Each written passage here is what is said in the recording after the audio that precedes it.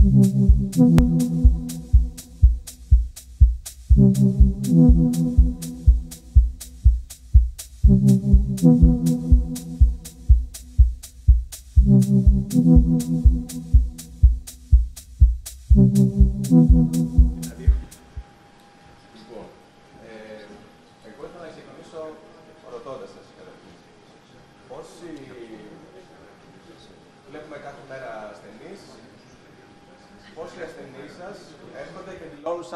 σύμπτωμα την νικτουρία. Ναι, ποια είναι η αίσθησή σας, ας πούμε. Δηλαδή, έρχονται ασθενείς, ε, άντρες ή γυναίκες, οι περισσότεροι υποθέτω βλέπετε περισσότερο άντρες ασθενείς. Πόσοι από αυτούς, ποια είναι η αίσθησή σας δηλαδή, έρχονται και δηλώνουν σαν πρώτο σύμπτωμα την νικτουρία. Ναι.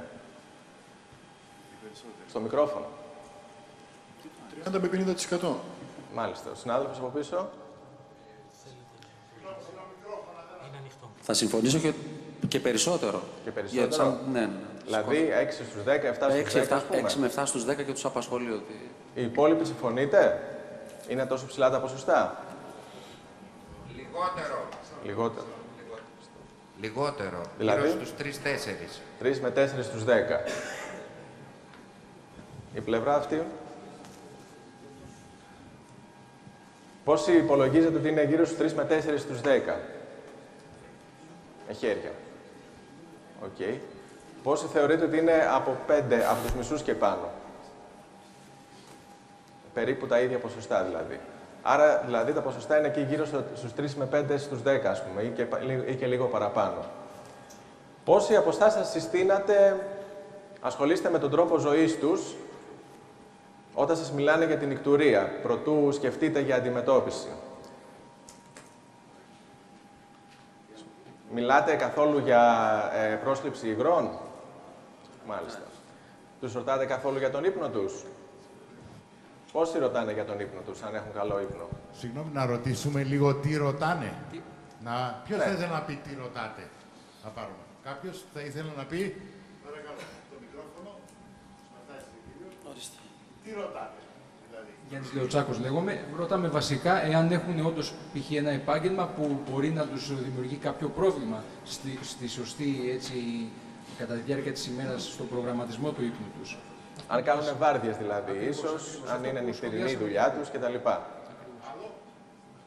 Για, την, ε, για παράγοντες που μπορεί να επηρεάσουν Από εκεί- Από εκεί και πέρα, τόσο τη δουλειά η- τους. η- η διατροφή είναι κάτι πολύ βασικό. Η πρόσληψη αλκοόλ, ειδικά σε μεγαλύτερης ηλικίας ανθρώπους που μπορεί να μην του δίνει τόσο πολύ σημασία, αλλά το είναι βασικό. Και ενώ οι ίδιοι νομίζουν ότι δεν είναι κάτι το υπερβολικό, όντως είναι τα φάρμακα που παίρνουν, πολύ σωστά, έτσι. Και το πότε τα λαμβάνουν. Μάλιστα. Κάποιος άλλος να μας πει κάτι συμπληρωματικό που ρωτάει σε έναν ασθενή με νυχτουρία ως προς τον Στάκης. τρόπο ζωής; Ε, καταρχήν, τι ώρα κοιμούνται, αν συνηθίζουν να πίζουν υγρά πριν τον ύπνο. Έχει σημασία η διάρκεια του ύπνου. Πόσα, πόσα υγρά πίνει πριν κοιμηθεί όταν ξυπνάει, το ρωτάτε; Φρούτα, γιαούρτι και γενικώ αν έχουν α, δίαιτα με, που περιλαμβάνει έτσι, διουρητικά. Κάτι άλλο συμπληρωματικό ρωτάτε για τον ύπνο; Για, τη, για τις συνήθειες. Κύριος Γκρίτσιος. Η ποιότητα του, νι- του ύπνου, αν στην ουσία ξυπνάει επειδή θέλει να ουρήσει ή δεν κοιμάται και από συνήθεια πάει να ουρήσει; Δηλαδή, αν είναι αϊπνία, προσπαθούμε να Θέλουμε διακρίνουμε. να κάνει το διαχωρισμό Ναι, δηλαδή ναι. νικτουρίας ή Ή διαταραχής αϊ... ύπνου. Ναι, ναι. Και συστήνεται σαν πρώτη ε, αντιμετώπιση της νικτουρίας, επομένως αλλαγής στους, στις συνήθειες ζωής τους, ή σας πιέζει ο ασθενής ή η ασθενής να του δώσετε κάποιο φάρμακο κατευθείαν; Τι κάνετε; Το πρώτο. Πρώτα λοιπόν φεύγουν από το ιατρείο και τους έχετε συστήσει να αλλάξουν τις συνήθειες ζωής τους. Ή να επισκεφτούν Εφόσον τον θεωρείτε, καρδιολόγο. φαντάζομαι ότι αυτές επιβαρύνουν. Ναι. Ή να επισκεφθούν τον καρδιολόγο. Μπορεί να βρεθεί και απάντησης εάν θα κοιμηθεί το μεσημέρι. Ιδίως κάποιοι άνθρωποι που εργάζονται από την υπαρχή αγρότες που ξυπνάνε πολύ νωρίς, αλλά κοιμούνται και τρεις ώρες το μεσημέρι. Σηκώνονται, πίνει το καφέ του, πίνει δύο-τρία ποτήρια νερό και πάει στις 10-11 ώρα πάλι να κοιμηθεί. Έχει καταναλώσει ένα λίτρο περίπου μέσα σε αυτό το μισοδιάστημα. Και γι' αυτό. Θεωρείτε ότι οι ασθενείς σας συμμορφώνονται, είναι πρόθυμοι να ακολουθήσουν, ε, να αλλάξουν τον τρόπο ζωής τους; Εξαρτάται αν το κέρδισες σαν άρρωστο. Άλλη Πώς- άποψη; Άκουσα ένα όχι εδώ. Ναι, δεν θέλουν, συνήθως θέλουν φάρμακα. Πιέζουν οι ασθενείς συνήθως για αγωγή, δεν ε, συμμορφώνονται. Πόσοι θεωρείτε ότι είναι εύκολο να συμμορφωθούν οι ασθενείς σε υποδείξεις σχετικά με τον τρόπο ζωής τους; Τώρα λέτε όχι. Ή μπορεί να βγάλεις διάγνωση. Μπορεί να σου πει: Ναι, γιατρέ, εγώ πίνω δύο μπύρες πριν κοιμηθώ και θέλω να μου φτιάξει την νυχτουρία. Γιατί μου είπαν ότι μάλλον είναι από το προστάτη. Γιατί και αυτό είναι ένα μέρος ε, βραδινής απογευματινής ζωής ενός ανθρώπου που είναι 65-70. Μάλιστα. Ναι.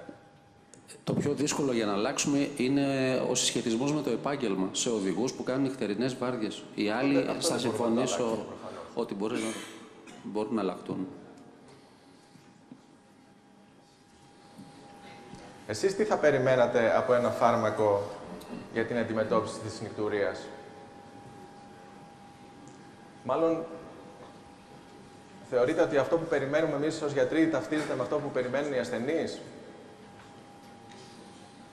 Και με πόση, ας ξεκινήσουμε ανάποδα, ας πούμε. Ο ασθενής τι περιμένει; Αν έχει τέσσερα επεισόδια νυχτουρίας το βράδυ, με πόσα θα ήταν ικανοποιημένος ίσως; Γυρνάνε μετά σε εσάς, τους έχετε δώσει αγωγή ή τους έχετε συστήσει αλλαγές στη συνήθεια ζωής τους; Πότε τους βλέπετε ευχαριστημένους; Στα δύο. Στο μισό. Ναι. Στο μισό περίπου, μάλιστα. Συμφωνείτε όλοι; Συγγνώμη, στο μικρόφωνο. Και όταν αυξάνει ο Ο χρόνος. χρόνος πρώτης φοράς που ξύπνησε. ε, δηλαδή που ξύπνησε πρώτη φορά. Όταν αυξάνεται, δεν ξυπνάει αμέσως. Μάλιστα. Έχει αυξηθεί ο χρόνος. Γυρνάνε πίσω και σας λένε ότι μπορώ να κοιμηθώ πέντε ώρες συνέχεια, ας πούμε Ε, τώρα. Και ναι, είμαι ναι, ευχαριστημένος. Ναι, ναι, ναι. Για να δούμε.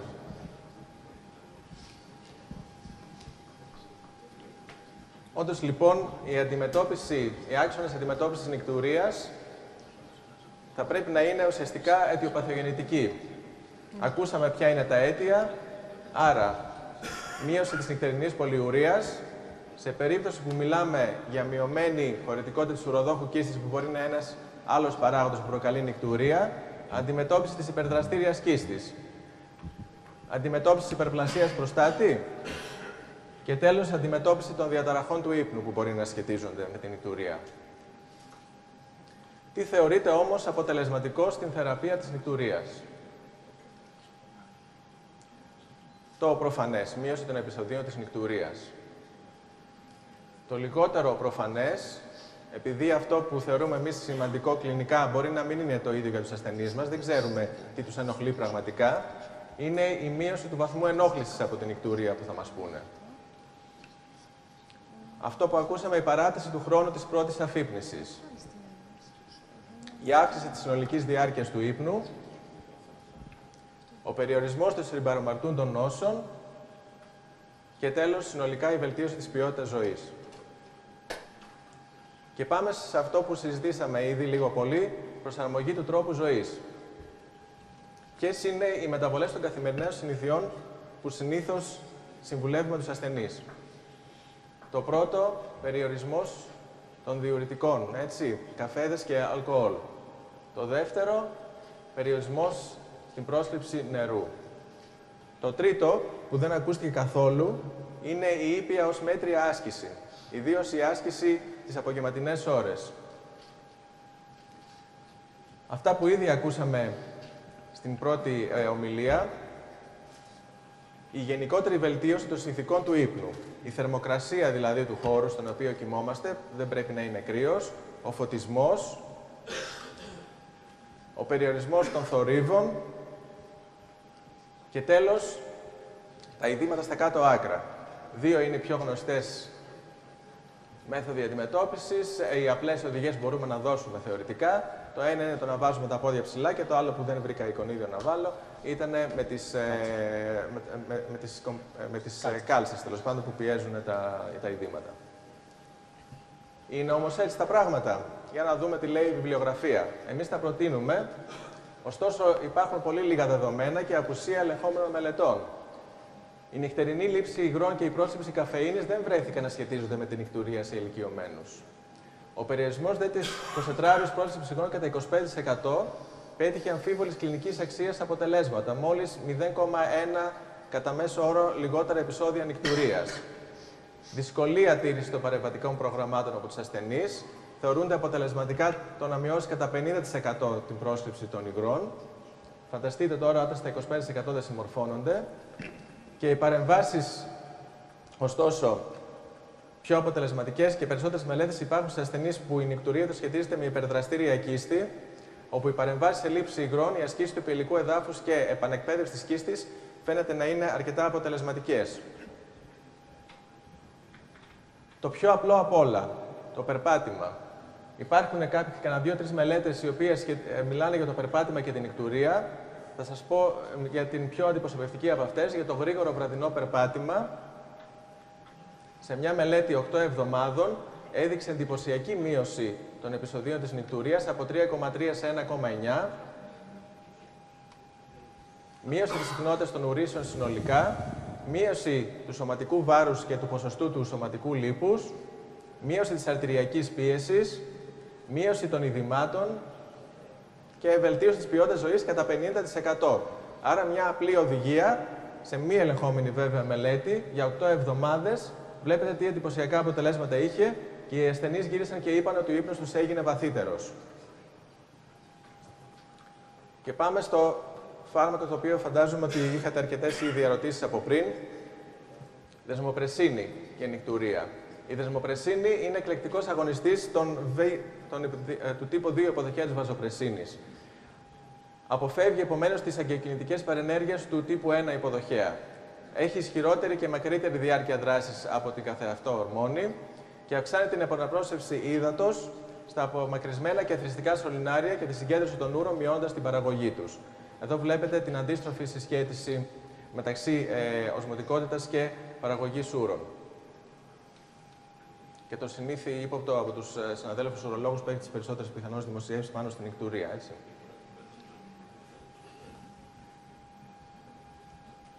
Τι θα θέλαμε να ξέρουμε για τη δεσμοπρεσίνη; Καταρχήν, ήδη από την, το προηγούμενο ICI, το International Consultation on Incontinence του 2008, είχε επίπεδα δεδομένων 1 και βαθμό σύστασης Α, γιατί υπήρχε ήδη σημαντικός αριθμός ελεγχόμενων τυχεοποιημένων μελετών για την αντιμετώπιση της νυκτουρία.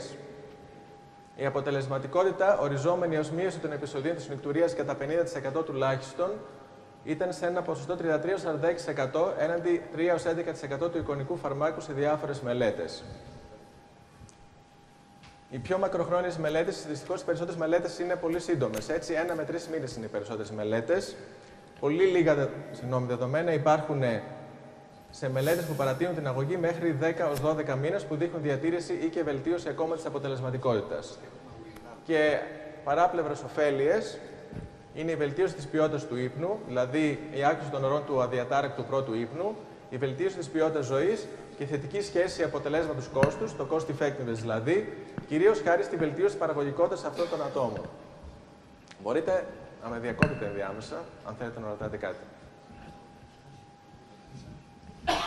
Μπορεί να μην βλέπετε εξίσου άντρες και γυναίκες. Το θέμα είναι βέβαια ότι και οι γυναίκες έχουν ορολογικά προβλήματα και οι γυναίκες πάσχουν από νυχτουρία. Και το ερώτημα είναι αν ανταποκρίνονται το ίδιο άντρες και γυναίκες στη δεσμοπρεσίνη. Εδώ μία μελέτη, η οποία συνόψισε πολύ πρόσφατη, συνόψισε τα αθρηστικά δεδομένα τριών μεγάλων μελετών και βρήκανε σημαντικά μεγαλύτερη μείωση του νυχτερινού όγκου ούρων στις γυναίκες που πέναν δεσμοπρεσίνη, 2,7 φορές μικρότερο ED50 του φαρμάκου στις γυναίκες. Το ED50, ξέρετε, είναι ε, η δόση που απαιτείται για να έχουμε 50% αποτελεσματικότητα, έτσι το οποίο δηλώνει σαφώς αυξημένη ευαισθησία, τουλάχιστον σχεδόν τρεις φορές μεγαλύτερη ευαισθησία στις γυναίκες σε σχέση με τους άντρες, διπλάσια μείωση επίπεδων νατρίου στις γυναίκες στην υψηλότερη δόση του φαρμάκου. Άρα λοιπόν καμπανάκια γενικώς. Και η σύσταση από την ε, σύνοψη αυτή ήταν ότι η πιθανή θεραπευτική δόση στους άντρες είναι 50 με 100 μικρογραμμάρια του MELT, έναντι 25 μικρογραμμαρίων στις γυναίκες. Απόστολε, να σε ρωτήσω κάτι. Οι γυναίκες αυτές τι ηλικία είχαν. Ήταν πρωί ή μετά έμεινοπαυσιακές. Ε, αυτό δεν το θυμάμαι. Υπάρχει κάποια διαφορά στην, νομίζω, στην ηλικία; Τώρα αυτή είναι η πιο πρόσφατη δημοσίευση στο Neurourology για Eurodynamics του 2012, όπου βέβαια είναι μικρός, μικρά τα γραμματάκια. Βλέπετε και εδώ διάκριση μεταξύ ανδρών και γυναικών στις διάφορες δόσεις που χορηγήθηκαν, 10 μικρογραμμάρια, 25, 50 και 100. Θα δείτε εδώ τις στατιστικές σημαντικότητες. Βλέπετε ότι στις γυναίκες σχεδόν από τις χαμηλότερες δόσεις υπάρχουν πλησίων ή κοντά στη ή στατιστική σημαντικότητα και μάλιστα πολύ μεγάλες σε όλες τις ε, παραμέτρους, δηλαδή στις, ε, στα επεισόδια νικτουρίας, ε, στην, ε, στο ποσοστό ε, ανταπόκρισης στο φάρμακο, ε, στην περίοδο του αδιατάρακτου πρώτου ύπνου και στον ε, νυχτερινό όγκο ούρων. Βλέπετε τα αντίστοιχα ποσοστά στους άντρες, πετυχαίνονται, οι αντίστοιχοι αποτελεσματικότητες πετυχαίνονται μόνο στις μεγάλες δόσεις. Οπότε, σύμφωνα με τη μελέτη αυτή, η σύσταση ήταν ότι η ελάχιστη αποτελεσματική δόση στις γυναίκες είναι μόλις 25 μικρογραμμάρια, ενώ στους άντρες 100 μικρογραμμάρια. Υπάρχουν περιπτώσεις που η, η νυχτερινή η νυχτουρία δεν οφείλεται μόνο σε νυχτερινή πολιορία, προφανώς όπως ακούσατε, μπορεί να συνεπάρχουν και άλλοι παράγοντες, όπως η μειωμένη κυστική χωρητικότητα. Λόγω υπερδραστήριας κίστης, προφανώς. Έτσι.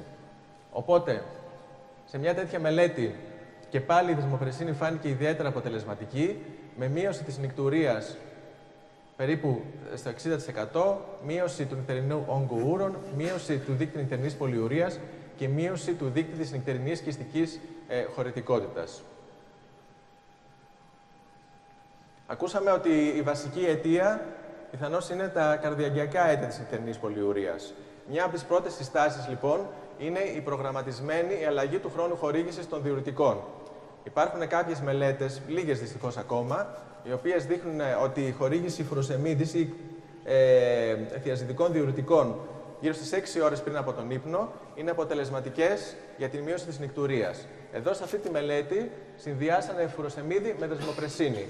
Και βλέπετε πάλι εντυπωσιακά αποτελέσματα σε σχέση με το εικονικό φάρμακο όσον αφορά την νυχτουρία, τον νυχτερινό όγκο ούρων και τη διάρκεια του αδιατάρακτου ύπνου. Αρχική τιτλοποίηση ήταν τρεις εβδομάδες πρώτα σε 0,1, 0,2 ή 0,4 μιλιγκράμμ δεσμοπρεσίνης. Πόσο εύκολα θα χορηγούσετε δεσμοπρεσίνη σε κάποιον από τους ασθενείς που έρχεται σε εσάς και διαμαρτυρόμενο για νικτούρια. Πόσοι χορηγείτε δεσμοπρεσίνη; Δύο, τρεις, τέσσερις, πέντε στους 80. Τι, οι υπόλοιποι τι... Ναι. Ναι. Τι φοβάστε... Ε, γιατί; Μπορείτε να μας πείτε γιατί δεν. Ναι, τι, τι σας Ποιος θα εμποδίζει ήθελε να, να πει; χορηγήσετε δεσμοπρεσίνη. Γιατί δεν; Χρησιμοποιείτε; Δεν έχει τύχει να χρησιμοποιήσουμε, δεν έχουμε μπει στη λογική να χρησιμοποιήσουμε δεσμοπρεσίνη στο νοσοκομείο που είναι. Λοιπόν, κάποιος άλλος, ε, κυρία μου, χρησιμοποιείτε; Δεν έχει τύχει να χρησιμοποιήσετε. Κάποιος που έχει...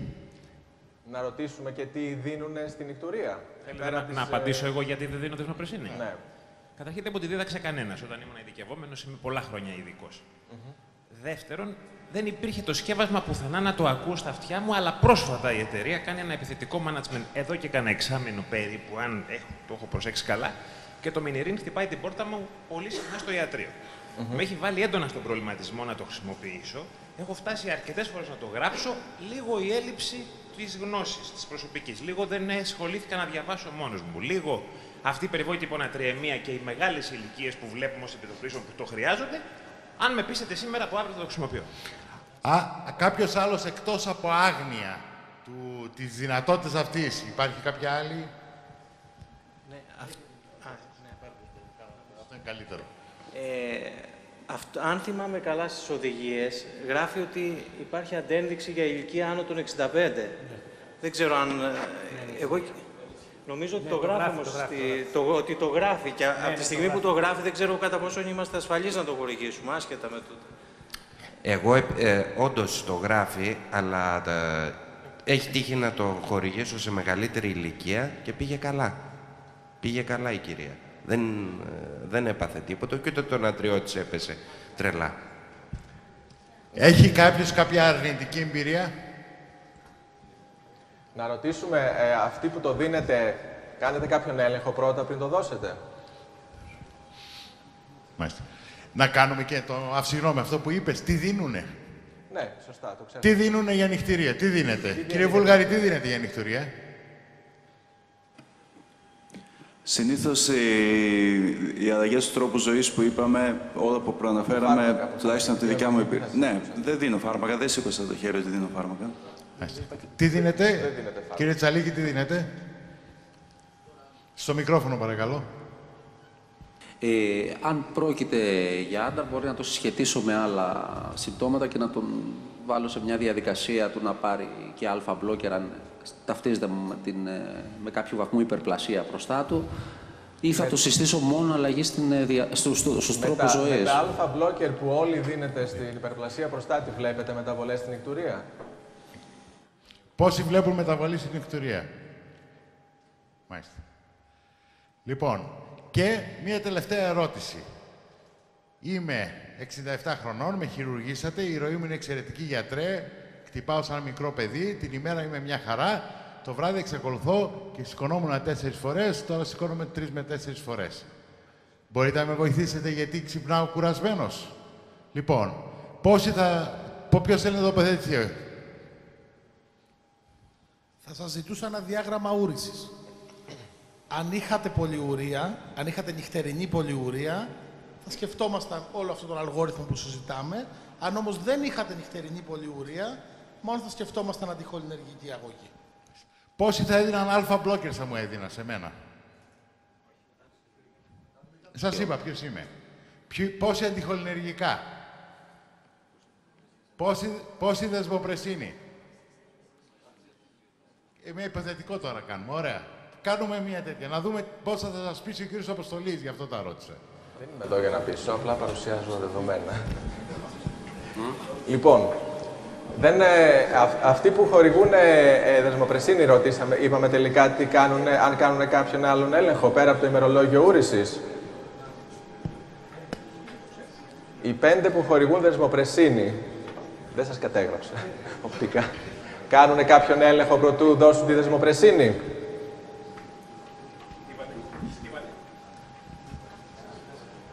Σταύρο. Νεφρικής λειτουργίας και κυρίως του Το μικρόφωνο, Μάλιστα. παρακαλώ.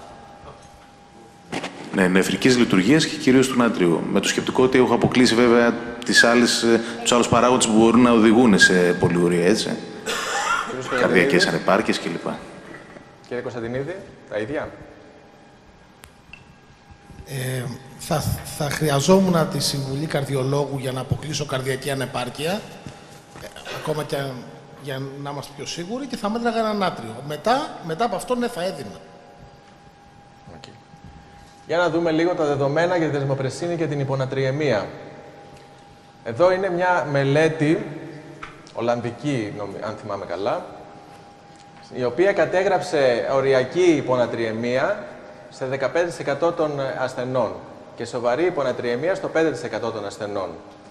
Στην ε, προηγούμενη μελέτη που παρουσίασα με τους άντρες και τις γυναίκες, τα επεισόδια, τα οποία, η οποία ήταν νομίζω σε 750 άτομα η μελέτη αυτή, αν δεν απατώμε, τα επεισόδια της ε, υπονατριεμίας της ε, σοβαρής ήταν στο 3%, που ήταν ελεγχόμενοι με εικονικό φάρμακο.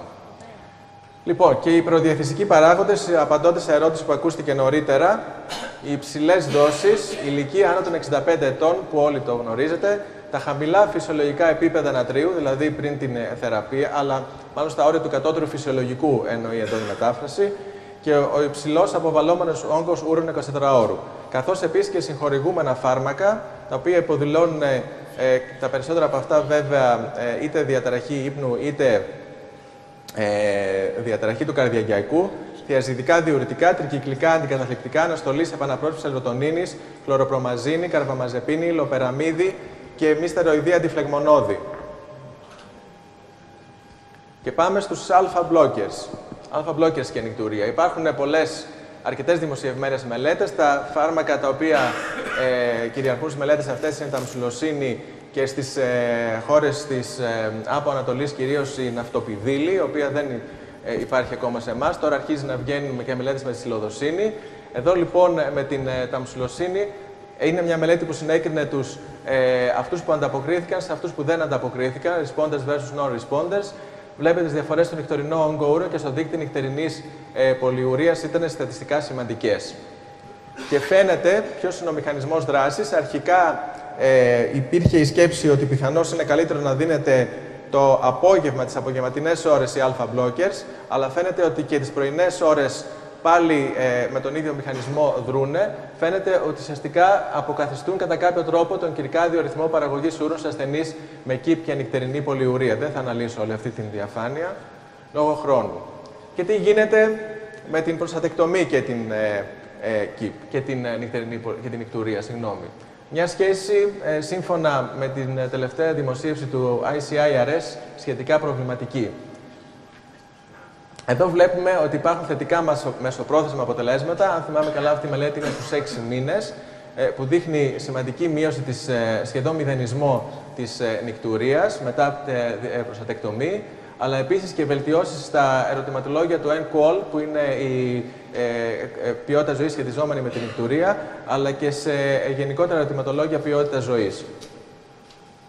Τι γίνεται στα μακροπρόθεσμα αποτελέσματα; Δύο μελέτες ε, ε, εδώ, συνοψισμένες. Ε, βλέπετε ότι πριν ε, οι άντρες με νικτουρία λιγότερα από δύο επεισόδια ήταν 35%. Ε, τρία χρόνια μετά την διουρηθρική είχαν ανεβεί στα 91%. Εντυπωσιακή η βελτίωση φυσικά. Ωστόσο, το πρόβλημα είναι ότι το ένας στους τρεις ασθενείς είχαν χαθεί στον επανέλεγχο, άρα χάνουμε δεδομένα από αυτούς. Εδώ η άλλη μελέτη μας λέει ότι η νικτουρία φαίνεται να ανταποκρίνεται λιγότερο καλά στη διουρηθρική προστατεκτομή σε σχέση με τα υπόλοιπα λάτς και η μέση βελτίωση, το ένα μικρό κατηγορό, είναι ότι η μέση βελτίωση στην νικτουρία είναι ένα επεισόδιο, την, ε, κατά μέσο όρο. Βέβαια, οι περισσότερες μελέτες ε, είναι εκεί, γύρω στο 1 με 1,5 επεισόδιο, με οτιδήποτε χορηγήσετε, που δείχνουν μεταβολή. Αλφα αποκλειστές ή προστατεκτομή. Εδώ σύγκριση ταμψουλοσύνη με διουρηθρική προστατεκτομή. Σε 72 σε 3 μέρες ημερολόγιο ούρησης, αξιολογήθηκαν νικτουρία, όρεση διατάρακτου ύπνου, το IPSS, η, ε, η, η, ποιότητα σχετικά με το, ε, και ερωτηματολόγια σχετικά με την ε, ποιότητα της ζωής σχετικά με την νικτουρία. Επανέλεγχο σε 3 και 12 μήνες, φαίνεται ότι η διουρηθρική προστατεκτομή κερδίζει. Απ' τη μια τα αντιφλεγμονώδη μπορεί να είναι ε, παράγοντας ε, επιβαρυντικός για να χορηγήσουμε ίσως φαρμακευτική αγωγή. Απ' την άλλη όμως έχουν μελετηθεί σαν παράγοντας που μπορεί να βελτιώσει την νυχτουρία. Λοιπόν, εδώ ε, με την χρήση δικλοφενάκης, το, ε, νομίζω το Voltaren είναι δικλοφενάκι, έτσι, ένα αντικονικού φαρμάκου, ε, σύντομες μελέτες, 2 συν 2 εβδομάδες crossover με νυχτερινή λήψη. Το 35% των ασθενών ανέφεραν βελτίωση. Εδώ βλέπετε τις βελτιώσεις. Βέβαια δεν είναι εντυπωσιακές. Από ε, βασικά 2,8 ή 2,7 έπεσε στο 2,3, αλλά παρόλα αυτά αυτά ήταν στατιστικά σημαντική. Ο φόβος με τα αντιφλεγμονώδη είναι ότι μπορεί να κάνουν την περίφημη κατακράτηση υγρών. Ωστόσο, φάνηκε από την ανάλυση των ημερολογίων ότι περισσότερο κάνουν και αυτά ανακατανομή της 24ωρης παραγωγής ούρων παρά την κατακράτηση των υγρών. Εδώ έβαλα αυτή τη μελέτη με το σελεκοξίμπ, η οποία είναι η πιο εντυπωσιακή ε, περιέργως όσον αφορά την αποτελεσματικότητα. Είχα, είπα προηγουμένως ότι οι μεταβολές συνήθως είναι εκεί μέχρι 1,5 επεισόδιο ε, νικτουρία στη φορά ε, στις μελέτες. Εδώ είχε μια εντυπωσιακή μεταβολή από τα ε, 5 και κάτι στα 2,5 στην, ε, ε, στο, στο, στην ομάδα του ε, ενεργού θεραπείας ε, με το 70% των ασθενών να δηλώνουν εντυπωσιακή ε, ανταπόκριση. Βέβαια, λόγω τους, ε, της φύσης του φαρμάκου, η μελέτη δεν μπορούσε να κρατήσει πάνω από ένα μήνα και γενικά είναι δύσκολο να χορηγούμε αντιφλεγμονώδη για μεγάλο διάστημα. Και ερχόμαστε στα αντιμουσκαρινικά που πολύ πιθανώς θα χορηγούσατε. Λοιπόν, αυξανόμενα δεδομένα, μεγάλος αριθμός μελετών, αλλά κάποια αντικρουόμενα αποτελέσματα έχουμε. Και εδώ με τα, ένα από τα πιο μελετημένα φάρμακα, τα δύο πιο μελετημένα είναι σολυφενακίνη και το τεροδίνη. Ξεκινάμε με σολυφενακίνη. Σε αυτή τη μελέτη που ήταν σε 638 ασθενείς, αλλά με χαμηλές δόσεις σολυφενακίνης, 2,5 και 5 mg, δεν είχαμε μεταβολή στατιστικά σημαντική στα επίπεδα της νικτουρίας. Αντίθετα, σε μια μελέτη 962 ασθενών στην Ιαπωνία, η σολυφανιακίνη βελτίωσε λέει, τους χαρακτήρες του ύπνου σχετικά με νικτουρία, αλλά βλέπετε ότι οι περισσότερες βελτιώσεις αφορούν τη μεγάλη δόση των 10 mg. Και η μείωση είναι πάλι μια οριακή της τάξης του μισού επεισοδίου ε, το, κατά μέσο όρο. Αύξηση διάρκειας αδιατάρακτου ύπνου και βελτίωση ποιότητας ζωής σχετική με τον ύπνο. Η τολτεροδίνη. Και εδώ έχουμε μείωση των επεισοδίων της νικτουρίας που σχετίζονται με τη σοβαρή επιτακτικότητα. Δύο μελέτες, πολύ μεγάλη αριθμή ασθενών. Ωστόσο, φαίνεται ότι απλή επανεκπαίδευση της ουροδόχου κίστης με παράταση πούμε, των μεσαδιαστημάτων ούρησης ήταν εξίσου αποτελεσματική με την τολτεροδίνη σε αυτή τη μελέτη. Άρα λοιπόν έχουμε λίγο αντικρουόμενα αποτελέσματα. Και ερχόμαστε στην αντιμετώπιση των διαταραχών του ύπνου. Εδώ καταρχήν με φάρμακα. Μελατονίνη που λειτουργεί ως υπναγωγό έναντι της ριλφαμαζόνη που είναι υπνοτικό. Εξίσου αποτελεσματικά βραχυπρόθεσμα στη μείωση της νυχτουρία. Και εδώ μια άλλη μελέτη, η ζολπιδέμου που είναι υπνοτικό, βελτίωσε σημαντικά την νυχτουρία, τα συμπτώματα ούρου και τα IPSS άντες που δεν ανταποκρίνονται σε α-αποκλειστή. Και λίγο για την αντιμετώπιση της υπνικής άπνοιας, το sleep apnea syndrome, στους ηλικιωμένους. Βλέπετε ότι με τη χρήση της ε, ε, θετικής continuous pressure, ε, positive airway pressure, έτσι, ε, έχουμε όλες αυτές τις γενικότερες βελτιώσεις, αυξημένη εγρήγορση, βελτίωση εγκεφαλικών λειτουργιών που σχετίζονται με γνωστικές λειτουργίες, με μνήμη, εκτελεστικές λειτουργίες και αυτό που ενδιαφέρει εμάς, η μείωση των επεισοδίων της νικτουρίας. Δυστυχώς και εδώ έχουμε πολύ λίγες δημοσιευμένες μελέτες ε, και απουσία ελεγχόμενων μελετών σχετικά με τη χρήση CPAP και νικτουρίας. Ε, εκείνο που με εντυπωσίασε αυτή τη μελέτη και ίσως θα ήθελα και την ε, ε, κριτική από την κυρία Πατάκα είναι εντυπωσιακή διαφορά ε, μεταξύ επεισοδίων νικτουρίας στο σπίτι και στο εργαστήριο. 2,5 έναντι 1,1. Ε, και στις δύο περιπτώσεις πάντως με τη χρήση του CPAP είχαμε ε, στατιστικά σημαντική βελτίωση της ε, νικτουρίας. Εδώ οι στήλες είναι ανάλογα με τη βαρύτητα της αναπνευστικής δυσχέρειας των ασθενών αυτών και στις δύο ε, κατηγορίες βαρύτητας πάντως και στις πιο ελαφρές και στις πιο βαριές καταστάσεις φαίνεται να είναι αποτελεσματικό. Και πλησιάζοντας ε, να κλείσω, ένας προτινόμενος αλγόριθμος από τον ε, Βανκέρεμπρο και τους ε, συνεργάτες του το 2010. Υπάρχουν αρκετοί αλγόριθμοι το ιστορικό, εργαστηριακές εξετάσεις, κλινική φυσικά εξέταση. Βλέπετε ότι όλα καταλήγουν σημαντικά στο να δώσουμε ημερολόγιο ούρηση. Δεν αρκεί να καταγράφουμε όγκους αποβαλλόμενων ούρων ε, συνολικούς. Θέλουμε ουρήσει, ε, καταγραφή ε, ποσότητας ουρήσεων ανά, ανά ούρηση. Θέλουμε και ε, πρόσληψη υγρών και ώρα πρόσληψης υγρών για να βγάλουμε ε, ε, ασφαλή συμπεράσματα με τους ασθενείς μας και φυσικά να καταγράφουμε και τις νυχτερινές τους ουρίσεις και τα αντίστοιχα ε, το βράδυ. Πόσα από αυτά οφείλονται σε άτομα τα οποία πίνουν πάρα πολλά υγρά και δεν το γνωρίζουμε, πόσα από αυτά είναι σε μείωση της, ε, της χωρητικότητας του ροδόχου κίστης, δηλαδή ουσιαστικά σε υπερδραστήρια κίστη, πόσοι από αυτούς έχουν νυχτερινή πολυουρία, πόσοι έχουν 24 ώρες συνολική πολυουρία, για να ξέρουμε πώς θα τους κατευθύνουμε. Έτσι λοιπόν, βλέπετε εδώ 24 ώρη πολυουρία, λίγο πολύ καταλήγουν στον ενδοκρινολόγο νυχτερινή πολυουρία, όπως ε, είπαμε, όπως ακούσατε νωρίτερα από τον κύριο Θανασόπουλο, 20-33% ανάλογα με την ηλικία. Πρώτα, συμβουλές για την τροποποίηση ε, των συνηθιών ζωής και μετά η κύρια ε, ε, φαρμακευτική αγωγή φαίνεται να συστήνει δερμοπρεσίνη, όπως ακούσατε, σε άτομα κάτω των 65 ετών. Σε μη, ε, μετά εμπλέκονται βέβαια διάφορες ειδικότητες ανάλογα με, τον, με, με την περίπτωση. Σε περίπτωση που έχουμε συμπτώματα αποθήκευσης, έτσι, πάλι μεταβολές των συνθηκών ζωής και εδώ βάζουν αλφα-blockers άμα υποπτευόμαστε από υποκριστικό κόλλημα, αντιχολεργικά εφόσον έχουμε συμπτώματα OEB. Και τέλος, άλλα προβλήματα, προβλήματα ύπνου, καρδιολογικά, γυναικολογικά κτλ. Κατευθείαν βλέπετε παραπομπή στις αντίστοιχες ειδικότητες ουρογυναικολόγους, ε, γυριάτρους ή ειδικούς του ύπνου. Συμπερασματικά, η αντιμετώπισης τη νικτουρία πρέπει να είναι αιτιολογική και μπορεί να απαιτεί συνεργασία περισσότερων ειδικοτήτων. Είναι καλό να μην το ξεχνάμε αυτό. Μεταβολές του τρόπους ζωής και των συνθηκών ύπνου συστήνονται, αν και χωρίς να έχουν σοβαρή βάση δεδομένων. Η δεσμοπρεσίνη φαίνεται να είναι αποτελεσματική στη μείωση της νυκτουρία ανεξάρτητα αιτιολογίας, βελτιώντα παράλληλα τις παραμέτρους του ύπνου. Ωστόσο, θα πρέπει από πριν να είμαστε καλυμμένοι και για εμά και για τους ασθενείς μας φυσικά να αναγνωρίσουμε παράγοντες κινδύνου υπονατριεμία. Τόσο η φαρμακευτική όσο και η χειρουργική θεραπεία της ΚΙΒ βελτιώνουν μακροπρόθεσμα τη νυκτουρία. Οι αλφα-blockers, παρέλειψα να τους πω επίσης, είναι αποτελεσματικοί. Πολλές, αλλά όχι όλες οι μελέτες στηρίζουν το ρόλο των αντιμουσκαρινικών. Και τέλος, περισσότερα δεδομένα απαιτούνται για το ρόλο των αντιφλεγμονωδών παραγόντων και της αντιμετώπισης των διαταραχών ύπνου στον έλεγχο της νυκτουρία. Σας ευχαριστώ.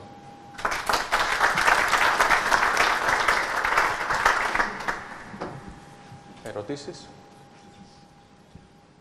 Στον αλγόριθμο τον τελευταίο τον οποίο δείξατε, ε, μου φαίνεται λίγο περίεργο το ότι ενώ μεν στην ε, πολιουρία, 20, ε, στην 24 ώρες, στην πολιουρία συστήνει συμβουλή από ενδοκρινολόγο, δίπλα στην νυχτερινή πολιουρία, ενώ πάλι υποκρύπτεται ένα άλλο αίτιο, δεν παραπέμπουμε σε κανένα και δίνουμε δεσμοπρεσίνη για να κουκουλώσουμε μόνο το σύμπτωμα.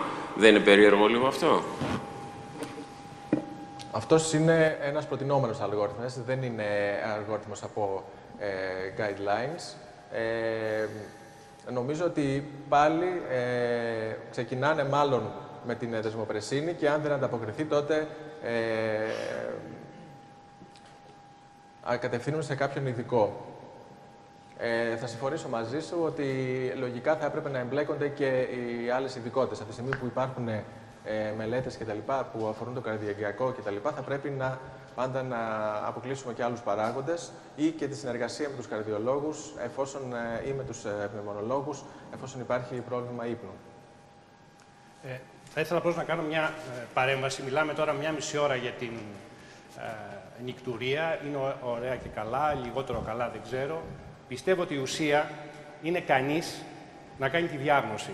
Και θεωρώ ότι το έλλειμμά μας μέχρι τώρα εκεί ήταν και παίρνω από τον συνάδελφο που είπε ότι στα χρόνια της ειδικότητας είναι κάτι που δεν το έμαθε.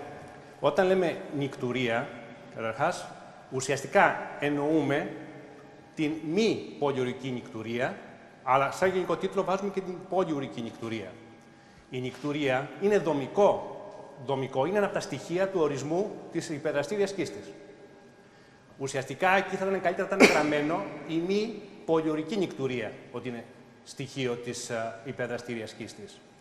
Θεωρώ λοιπόν ότι το ουσιαστικό κομμάτι είναι κανείς να μπει στο μυαλό του ότι υπάρχει αυτή η κατάσταση και να κάνει τη διάγνωση την νικτουρία θα την ε, αναγνωρίσουμε. Δηλαδή, μπορεί να κάνουμε κάποιο λάθος αν ο ασθενής να μας λέει, ας πούμε, ήταν ξύπνιος και λέει ότι είχε νικτουρία, αλλά δεν θα πέσουμε τόσο πολύ έξω. Εκείνο που έχει σημασία είναι να γίνει η διάκριση, η διάκριση μεταξύ της μη πολιουρική νικτουρία και της πολυουρική νικτουρία, που κρύβει πάρα πολλά ε, συμπτώματα και που θεωρώ ότι χρειάζεται παραπομπή και σε άλλους ε, συναδέλφους. Και το πιο νομίζω ουσιαστικό από αυτό που πρέπει να μείνει από αυτή τη σημερινή συνάντηση είναι το πώς ορίζεται η νυχτερινή πολιουρία.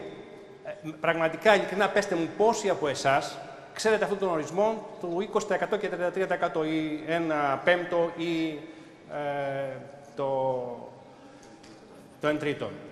Πέστε μου πόσοι το μάθατε σήμερα; Λοιπόν, εγώ θεωρώ ότι η επιτυχία που υπάρχει σήμερα είναι αυτό. Όταν γίνει η διάγνωση και μας μπει η ιδέα, τότε αρχίζουμε να σκεπτόμαστε και την ε, θεραπεία. Έτσι. Τώρα εντάξει, υπάρχει ένας πρόξιμο από τη Δεμοσπρεσίνη, ξαφνικά το ανακαλύψανε και θέλουν να μπουν στην αγορά. Αλλά θα υπάρξει κάποιο καλό αποτέλεσμα για τους ασθενείς, αλλά εμείς πρέπει να κάνουμε τη σωστή διάγνωση. Και για να γίνει αυτό, χρειάζεται το ημερολόγιο ούρηση. Αν λοιπόν κάνεις ημερολόγιο ούρηση και πας στη διάγνωση, έτσι αρχίζεις και νομίζω και μπορείς να κάνεις τα σωστά βήματα. Και συμφωνώ με τον συνάδελφο που λέει εδώ ότι ξαφνικά στο ένα στέλνουμε, στο άλλο δεν στέλνουμε θεωρώ ότι πάντοτε η νυχτερινή πολιορία μπορεί να κρύβει πολλά πράγματα από πίσω.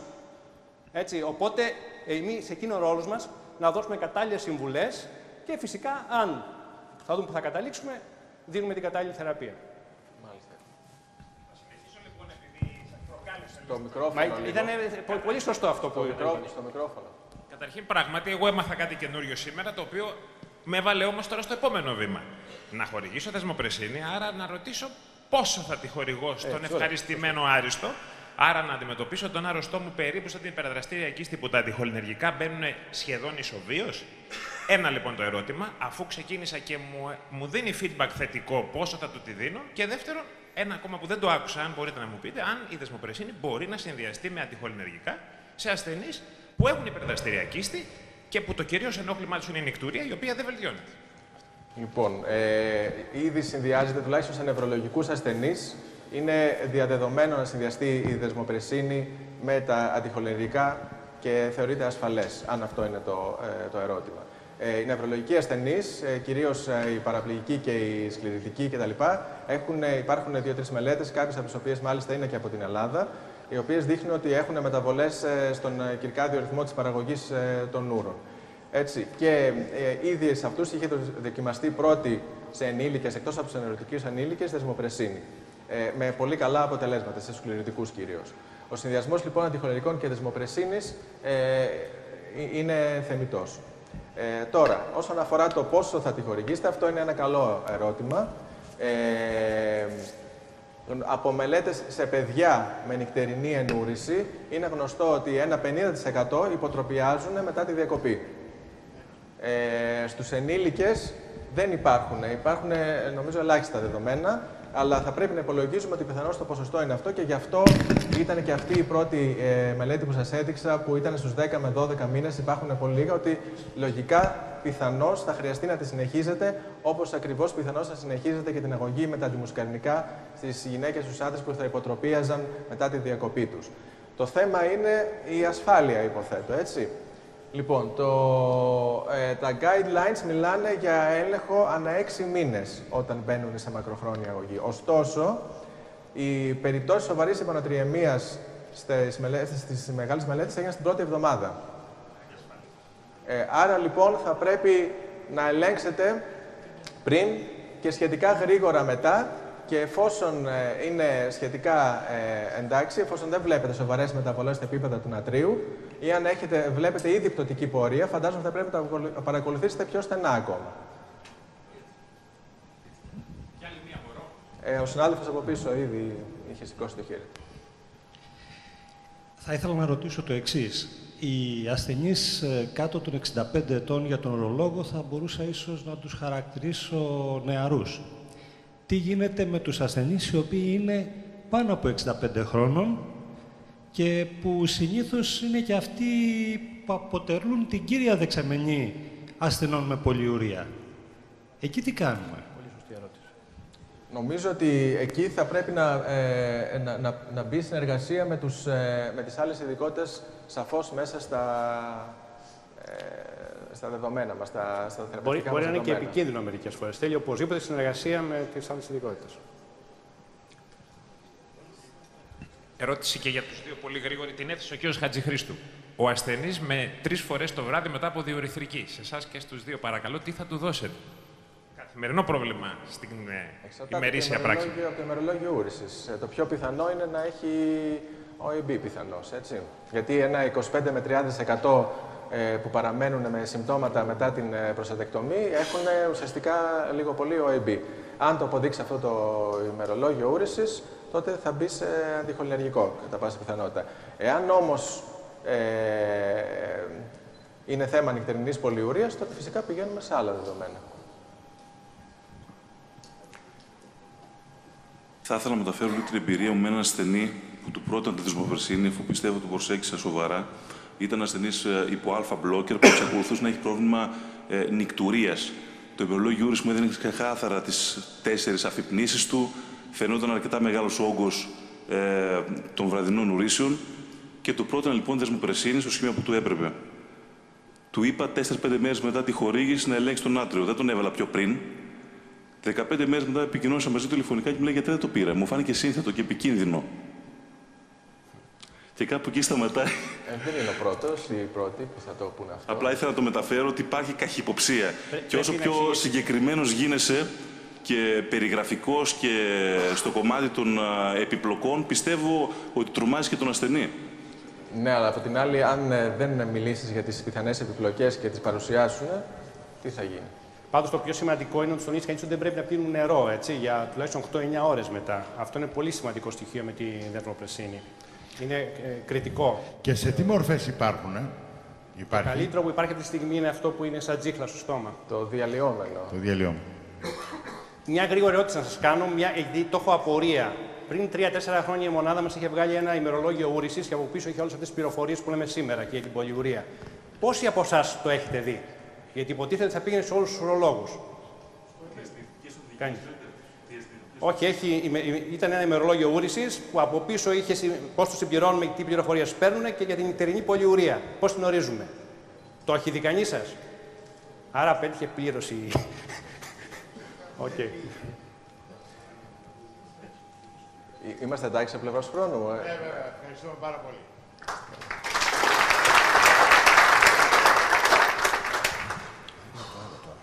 Εγώ μου έχουν τα για το ερχόμενο.